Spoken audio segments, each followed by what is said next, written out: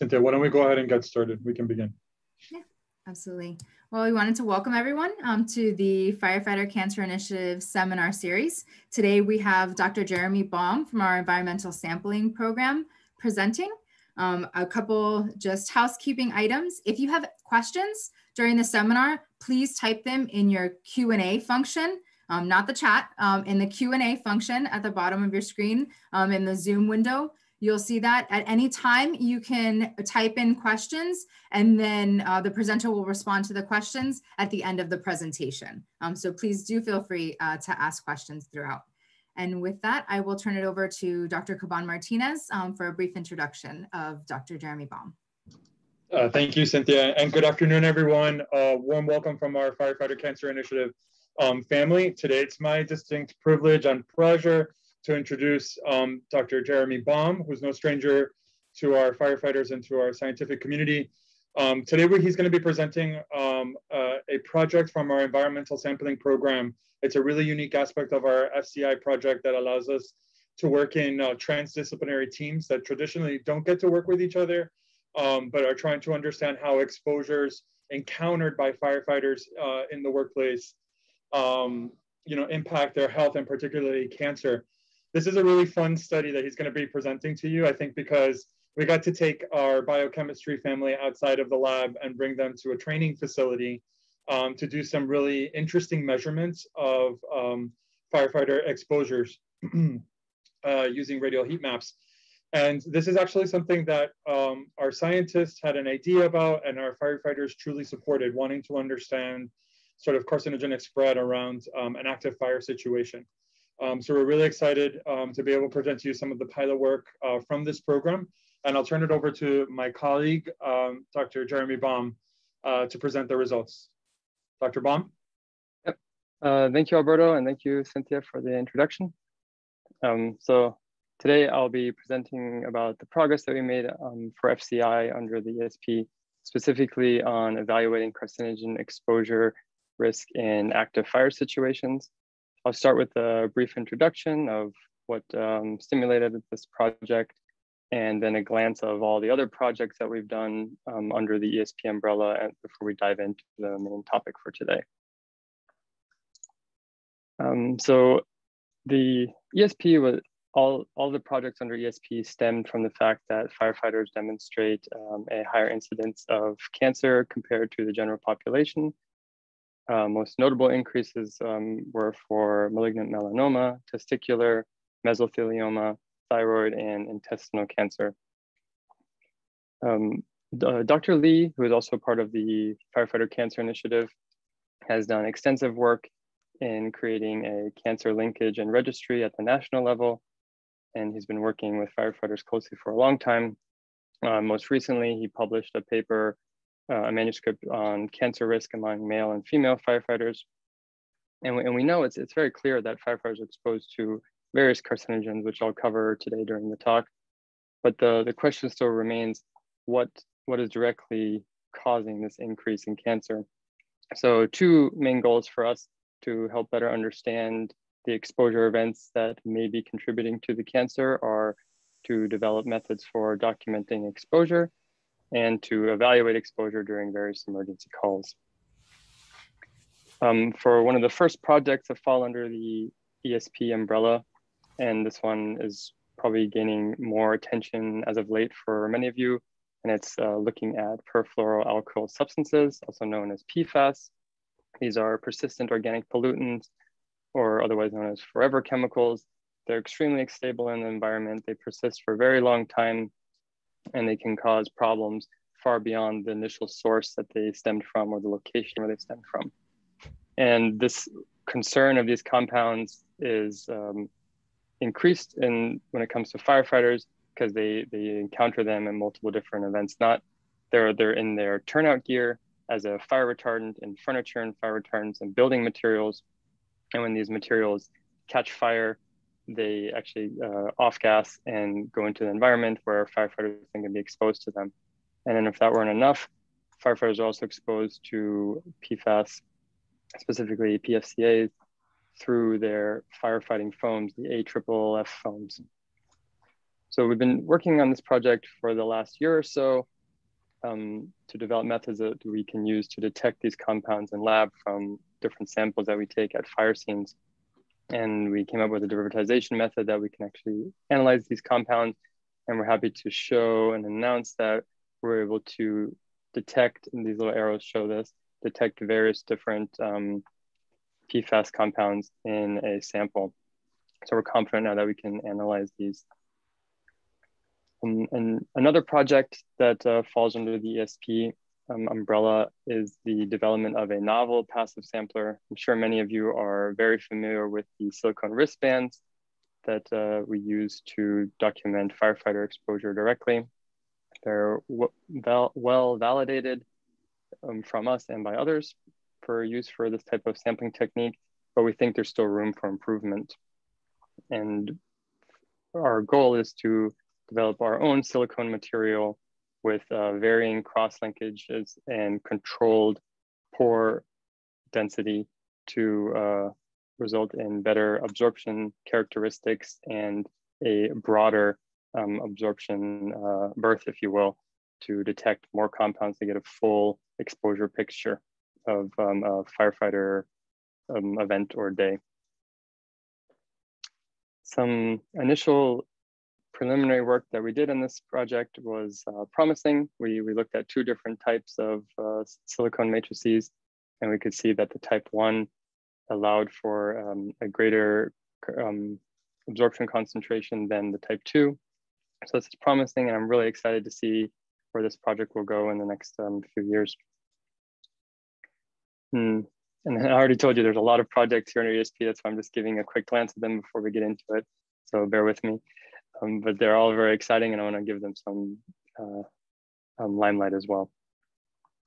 So th this project is uh, really great. It's um, we, we are working on developing a real-time sensor that unlike the passive samplers, which only document exposure events after they have happened, this would provide firefighters capability to know the exposure risk in real time that they're experiencing in a given fire situation.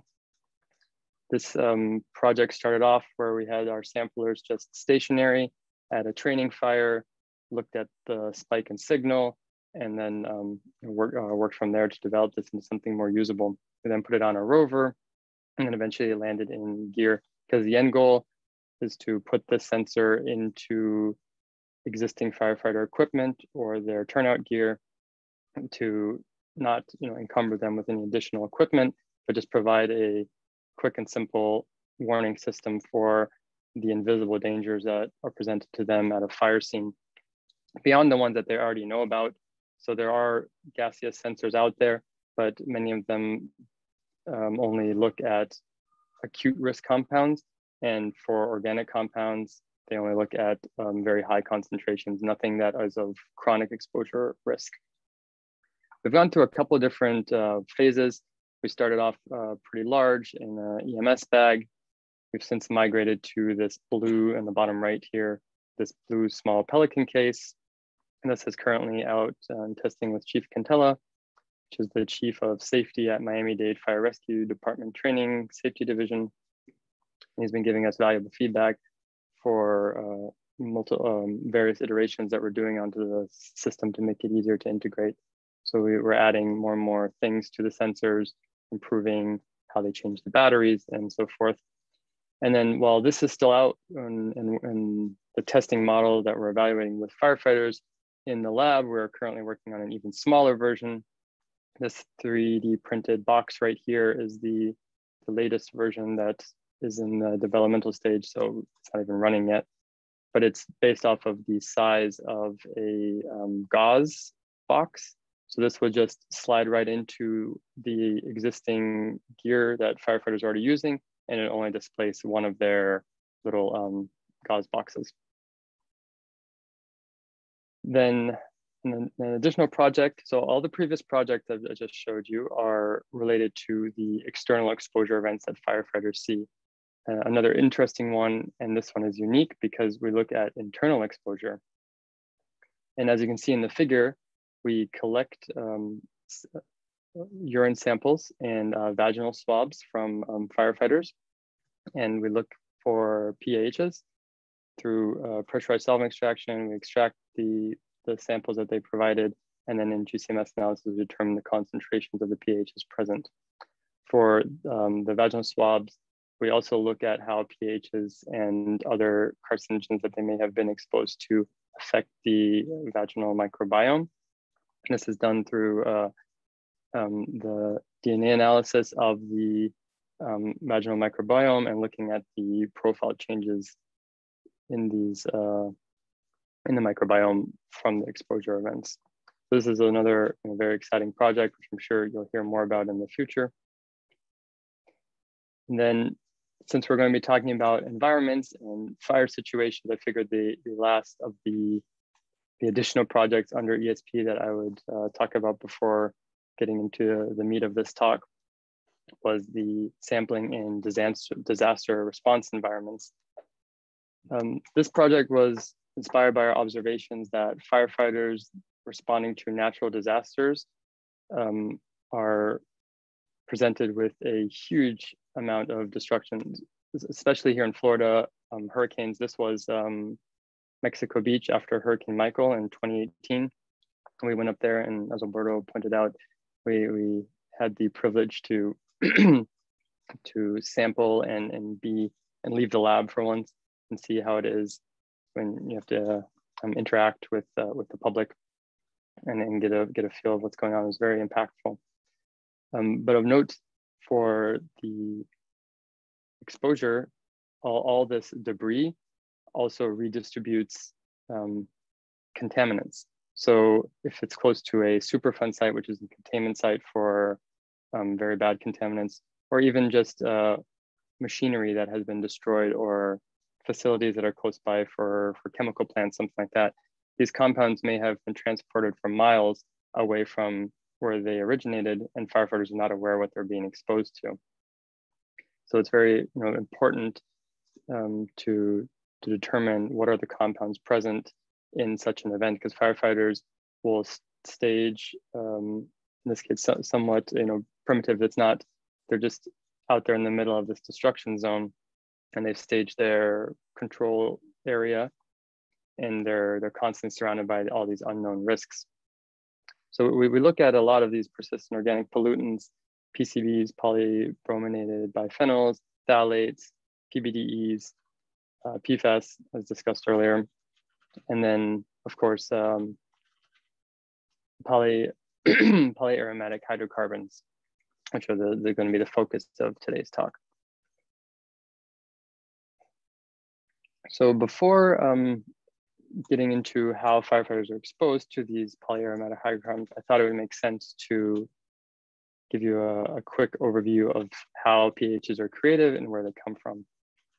The most obvious source are structure fires and then um, vehicle fires, but also um, the industry and manufacturing. Within a given uh, fire,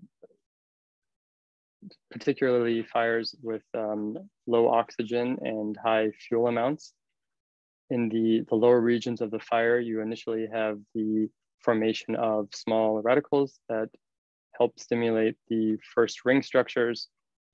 Then the first PAH growth uh, start to appear through um, PAH-PAH radical reactions. And then you start to get more and more growth of PAHs. And once you get into the upper regions of the flame, where also the temperature has now started to rise, you start to get um, growth behaviors that aren't dominated by uh, radical reactions as much anymore, but more by gaseous PAH addition. And we're starting to get into the one to two nanometer range, and you start to see small soot particles develop and formation of a few buckyballs. When we get into the fourth stage of this PAH formation and soot growth, the dominating factor is sticky particle collisions and mass addition. And the subparticles start to grow and grow. And then in the final phase, some carbonization takes place and you start to form uh, graphene sheets or fragments of graphene sheets. And you get these loosely bound soot particles combined in a full of absorbed with PAHs, which are then um, transported into the atmosphere through thermal drafts. And these can then go far away from the initial fire source And then in clouds, they rain back down into the environment. They bioaccumulate in plants and animals. And then for humans, the dominant route of exposure is through ingestion. And while firefighters also eat that, and they have um, their PAH exposure that way, there's an additional risk which we hope to elucidate here and how they're exposed otherwise. So explain to you where PAHs come from, but I also want to say, uh, explain what happens after um, you've been exposed and PAHs have been internalized. Well, there's not that much research done in all of the PAHs. So for some answers, we turn to benzoate which is one of the most well-studied PAHs. It's also a, it's classified as a group one carcinogen to humans. And looking at that one, there's a general consensus that the dominating metabolic pathway um, of damage is through the activation of the xenobiotic metabolism, which initially converts, I don't want to say benign because that's really a bad term to use for PAHs, but it uses a less harm, it starts with a less harmful PAH that our body is trying to remove. Um, and during the oxidative process, creates a more harmful substance that can then um, yeah, increase uh, the chances of cancer through um, a couple different pathways. So the one is increase, increased DNA damage. The other is induction of the P53 protein um, mutant, which when it's not the mutant is really a guardian angel protein of sorts that helps uh, control uh, cell growth. But when it's broken, it just lets cell growth go rampant, which results in delayed tissue repair and increased uh, chances of cancer. And then there's just the overall um, increased inflammation, which is uh, bad for, um, for the body. So we know where PAHs come from. We know the, some of the possibilities that can uh, lead to um, cancer when, when you're internalizing PAHs. But then the next goal is to determine the exposure events that lead to internalizing the PAHs in the first place. So the first one is pretty obvious. Like to use this uh, contamination exposure cycle. In the first event, it's the fire source. When a firefighter is present the, on the scene, they're fighting the fire, PAHs are being generated in the flames and they're everywhere. So they're absorbing onto their gear. If they're not wearing protective uh, breathing apparatus or on contained air, then they may be exposing their skin, internalizing through the skin or even into the lungs directly. And then they have their contaminated gear, which they transport to the um, in the fire engine back to the fire station, in their personal vehicle, possibly to the home. And um, Dr. Caban Martinez did some early work using UV dye to demonstrate this, this transfer from the fire station to the personal vehicle into the home, where firefighters, where they had this invisible dye on their hands and they interacted with the child and that, and then the child went home and you could, you could see this um, transfer of, uh, of theoretical contamination down this chain. On the top left here in image A, we have some firefighter gear where we are examining the off-gassing potential of this gear from this contamination cycle. And we documented um, high soot particle counts, which I explained earlier, right, contains a lot of PAHs. So there's soot particles in the gas above the gear. And then B, we have on image B on the right, we have the infamous uh, silicone wristbands that we use for documenting personalized uh, exposure events on firefighters. And then on bottom right here in C, we have the uh, rover, which has this was a way to mobilize our um, real-time sensors during testing phases.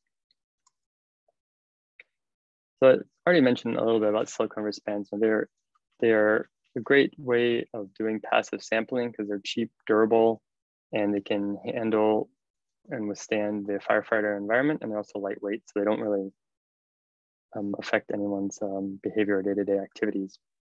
But they also function as passive samplers for um, environmental sampling. So and that's because they can absorb the same compounds that we're interested in in a personal sampling event versus the um, sampling event for an environmental sample And another reason that these samplers are ideal is their, their storage capability. So after they have been exposed, unless the temperature is raised extremely, the compounds stay stable on the wristbands and we can bring them back to the lab and analyze them. But obviously, even though these are simple to use, they do require some uh, workup prior to using them. You can't just purchase them uh, online and then use them for analysis.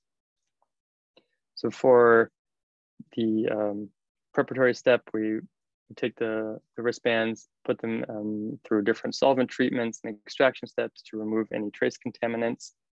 And then with um, uh, a vacuum oven, we make sure all the solvents have been removed so they're extremely clean. Then they go into airtight containers and they're stored either for when we need to bring them into the field for our um, environmental sampling or we distribute them to firefighters. And then afterwards, after an exposure event, bring them back to the lab, extract them, and then um, analyze them in GCMS to look at the exposure profiles and concentrations. I thought it would make sense to give everyone a brief overview of a fire um, suppression zone and um, area. And so, because all the firefighters on the call obviously understand this better than I do, but for a lot of us, we I wanted to have a understanding that everyone knows how these things are um, laid out. So here in the middle, you have your structure fire, and then you have your warm or your hot the hot zone around that, your warm zone and the cold zone. When uh, when a firefighter arrives at the scene, usually the lead firefighter or the safety officer on duty will establish these zones.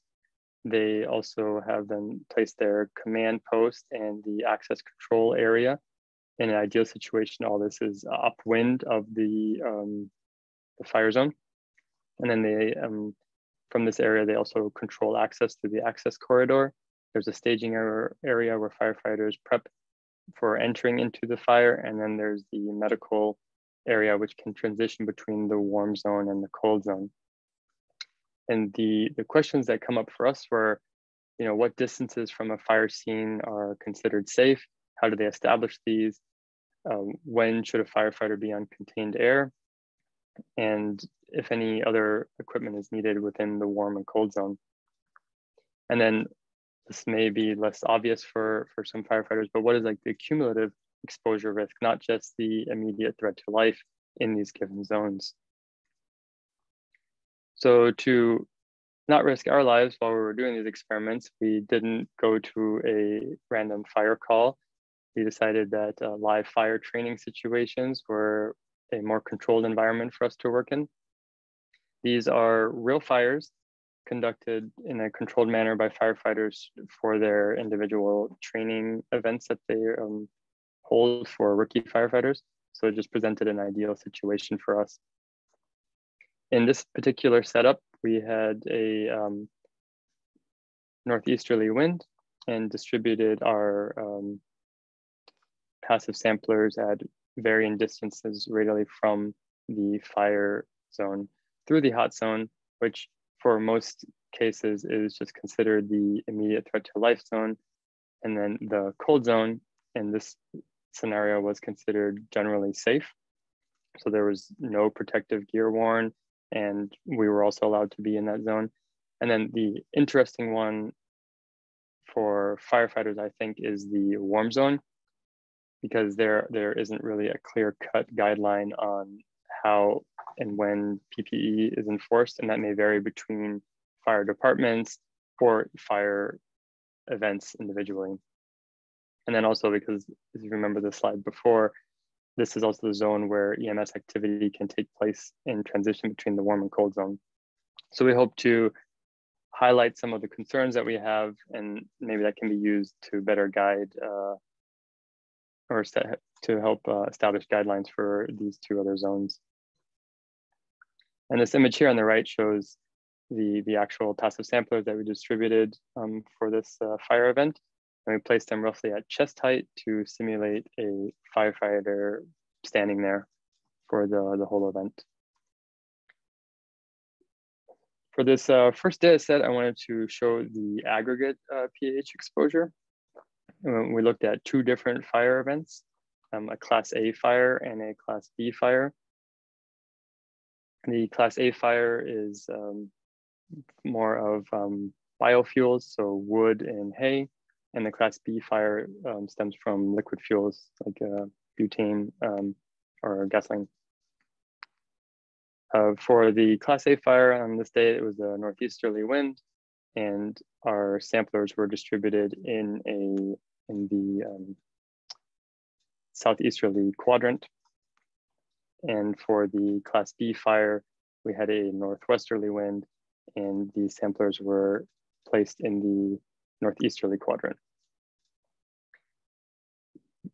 When you're looking at the color distribution, just to, for the heat map, the darker the color, the higher the concentration, and the lighter the color, the less the concentration of PAHs that we found.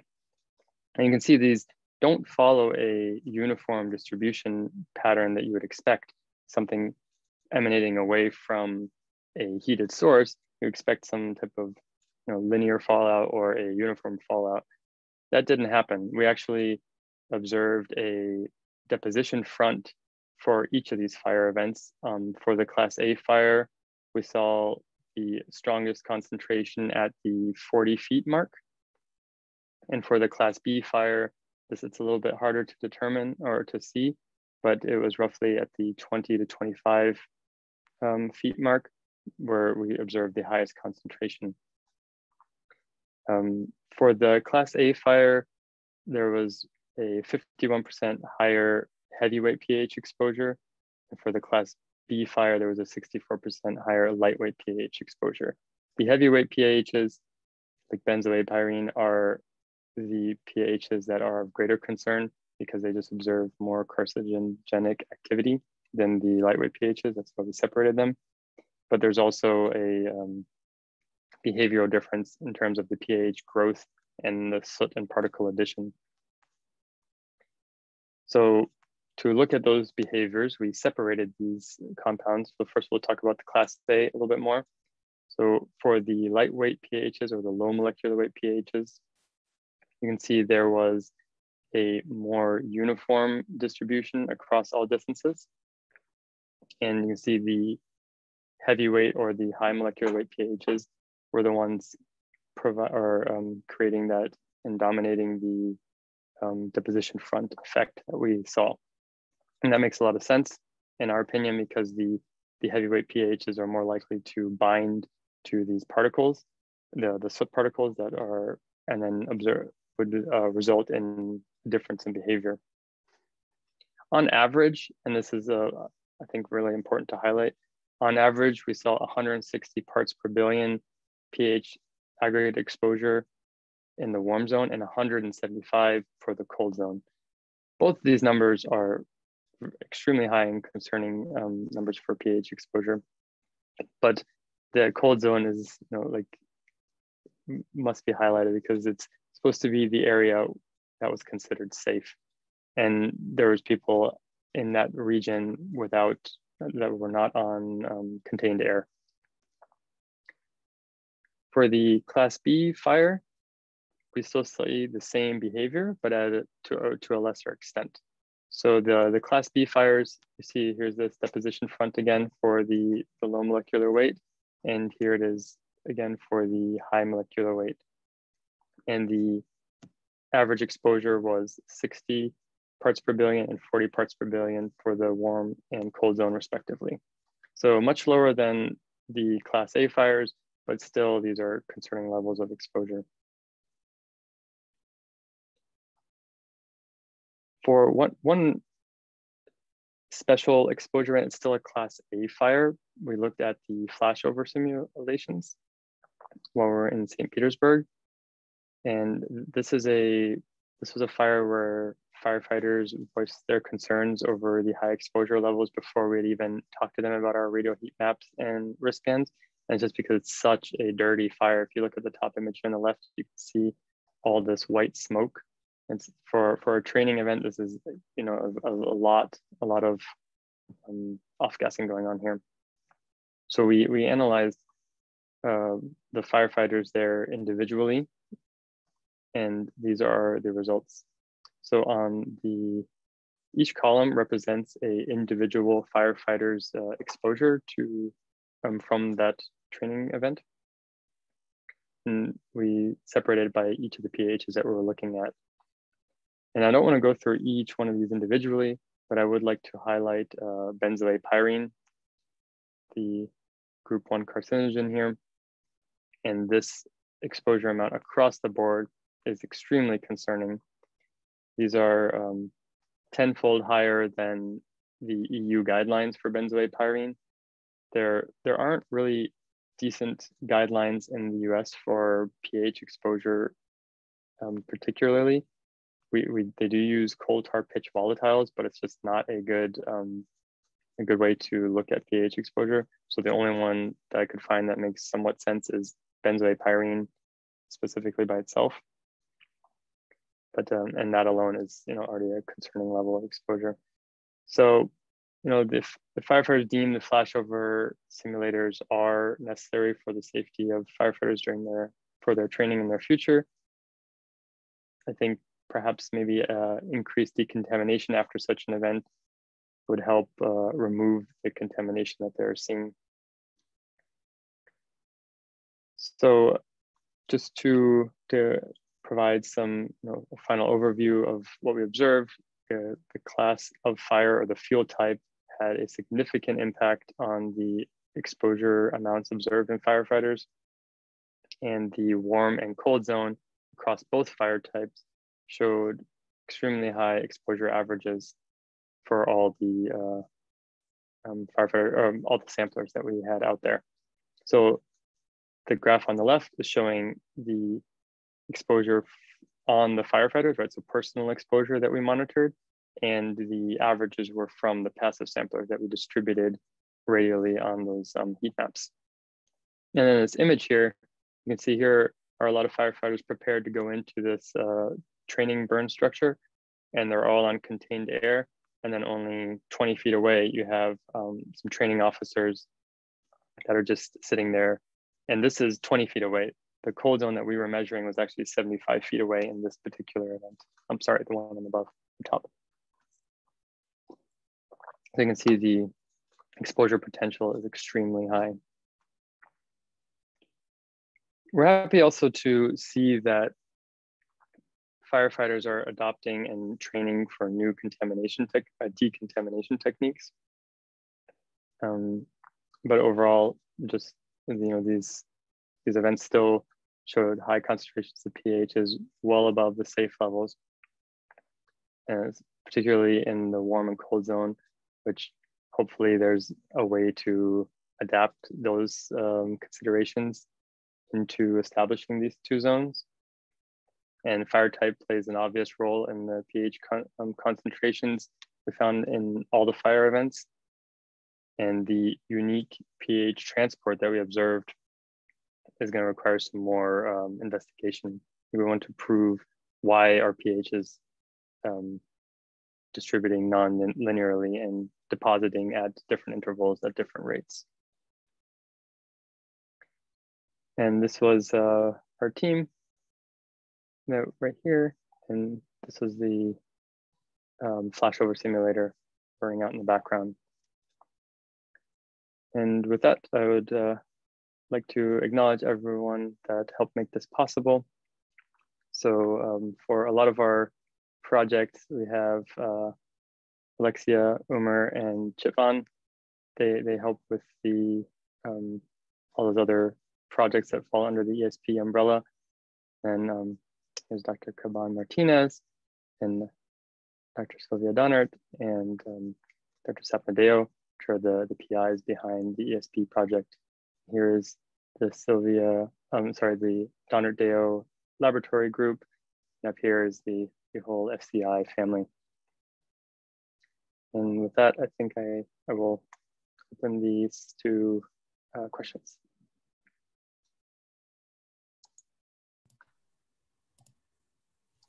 Jeramy, we do have one question um, in the Q&A. Uh, okay. Are silicone wristbands available for fire investigator studies? That is a wonderful question. Um, we are already uh, working with uh, some firefighter investigators. So yes, they are available. Um, I don't know to which extent. I think uh, Dr. Caban will be able to provide a little bit more uh, clarity there.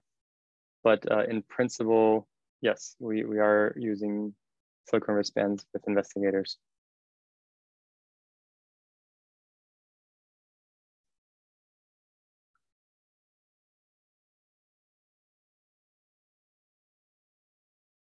Are there any other questions? Because I can't see the, oh, there's the Q&A.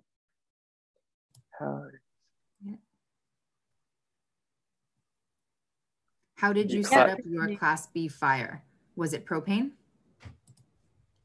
I believe it was propane, yes.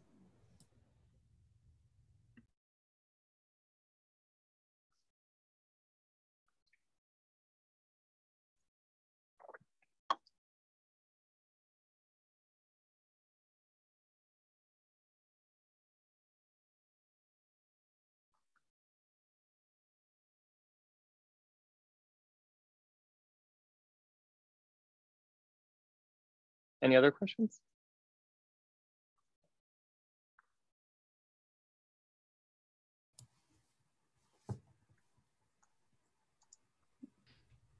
Jeramy, you did a great job. That's why there are no other questions. Thank you, Sylvia.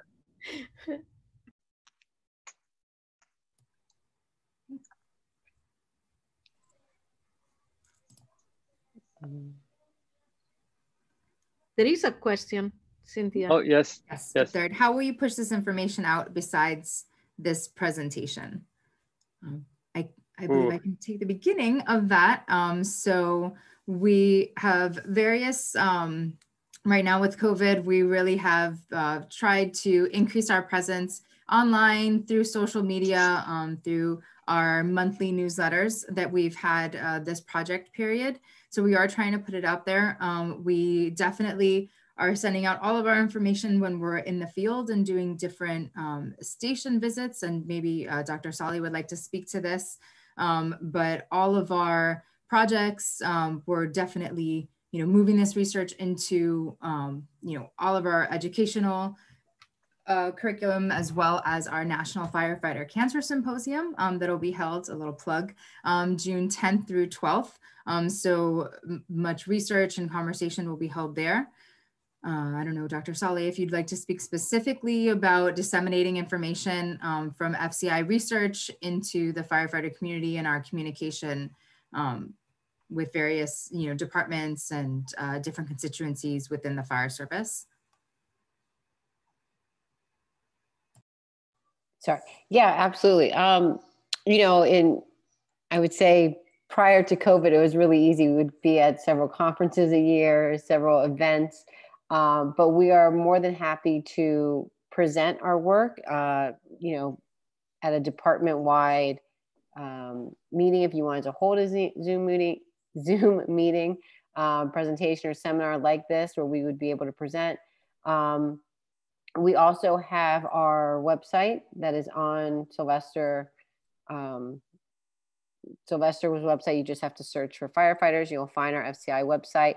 Um, all of these recordings are there, as well as other recordings from our other seminars and um, our publications are there. So you're able to get that information. Um, and then the other thing that we work on um, is our education program. So we, we create a lot of education materials that are also can be found on the website that you're able to share with both your leadership and firefighters. Um, so they, you know, have kind of right in your face information about what's going on. Um, you know, we try to use graphics, uh, make it very easy to see, um, to understand rather than some of these, um, you know, graphs and figures, but really what can they do in their everyday work life to make changes and you know decrease their risk their exposure? Um, so yeah so i think that covers it. And the other thing um, you know yearly we have our, our national symposium which again we will be having this june. Um, we will be taking a hybrid approach so we'll be online. For anyone that would like to um, join us we'd, we'd love to have you. And um, yeah i think that's about it we did have one more question. Um, what would be next steps for changing practice at the fire scene moving forward? Oh, I'm the chemist. That's probably not a good question for me. I'll, I'll leave that up to um, Natasha or Alberto to answer. Um, yeah, I mean, so right now, um, you know, from the work that we've done and the work that Jeramy and um, his group has and his group has found, especially with the the warm zone and how people may still be at risk even though they they're not standing in what was considered the hot zone. Um, we've already seen changes, especially with the decon buckets and things of that nature that people are doing on scene. Um, you know, as far as next steps for changing practice, I think just just educating departments that aren't doing it. Uh, we have seen big changes from departments here in Florida, um, but really to share that knowledge at a national level to, you know, make the on-scene decon a, you know, second nature to everybody. Um, yeah. Dr. Caban Martinez is on if, if he has anything else to add. For changing practices at the fire scene. Yeah, like uh, in general, like what what um, what can be done. I think you covered. I think you covered most of them. I think part of it is um, also, you know, just starting a, a FACE team. I, you know, I always look at our Palm Beach County Fire Rescue's um, fire department as an example of how a concerned group of firefighters can really serve as a catalyst to change policies, programs, and practices within the fire department. Um, and then having, you know, the senior leadership support, like the fire chief and the assistant chief support this FACE team can really help uh, do some of those transformations about best practices um, both within the fire department, within the fire station, and then out during fire suppression and incident response. So I, I, think it's really getting top leadership involved and saying, okay, let's make a FACE team and how do we make implement some of these um, changes.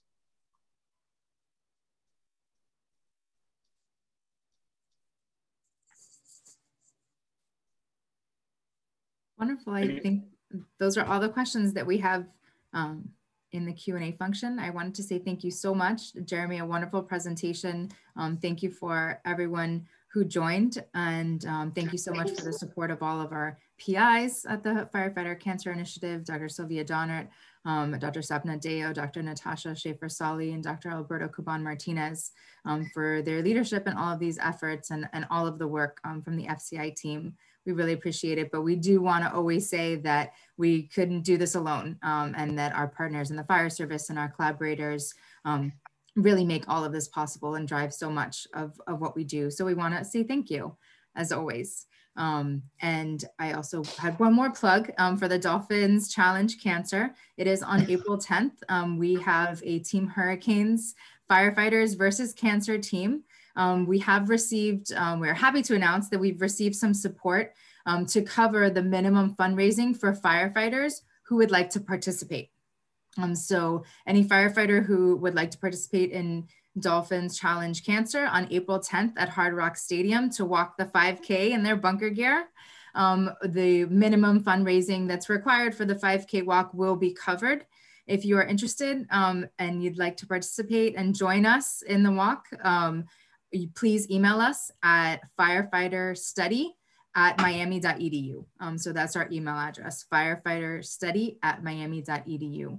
Um, and we can connect there. We've also sent that out through our social media channels. Um, so all the information is there as well. But I'd like to say, well, on that note, uh, thank you everyone for participating and thank you for joining us. Um, another very successful FCI seminar. Appreciate your attendance. Thank you, everyone. Thank you. Take care. Bye. Bye. Take care.